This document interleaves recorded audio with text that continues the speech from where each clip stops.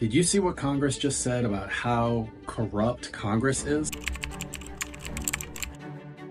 Dysfunctional. chaotic. It's just very challenging. difficult, tense, broken.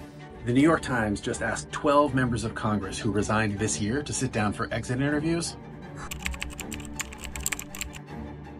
Some people do tend to favor large business and uh, special interest. special interest. Special interest. special interest group. I think there's too much money in our political system. I was told at the beginning that I had to raise $250,000 if I wanted to be on certain committees.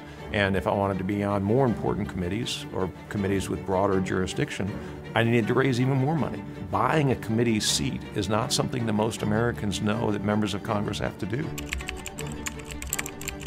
Well, it's the American people that have to fix the Congress. Well, I think the American people are going to have to fix it. You'd have to change culture. You have to fix it at the root. You heard what they said.